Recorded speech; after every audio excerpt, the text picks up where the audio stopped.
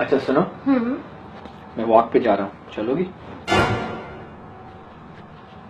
तुम क्या कहना चाह रहे हो? कि मैं मोटी हूँ? मैंने कब कहा? तुम रेस्ट करो। अच्छा तो अब मैं लेजी भी बन गई। क्या फालतू की बातें शुरू कर दी हैं? फालतू।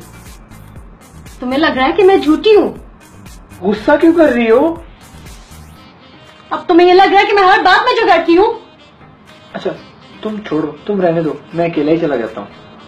हाँ अकेले जाओगे? किससे मिलना है नहीं जाता मैं यहाँ पर ही बैठ जाता हूँ। माफ़ कर दो मेरी माँ। माँ? अब तुमने मुझे अपनी माँ बना दिया।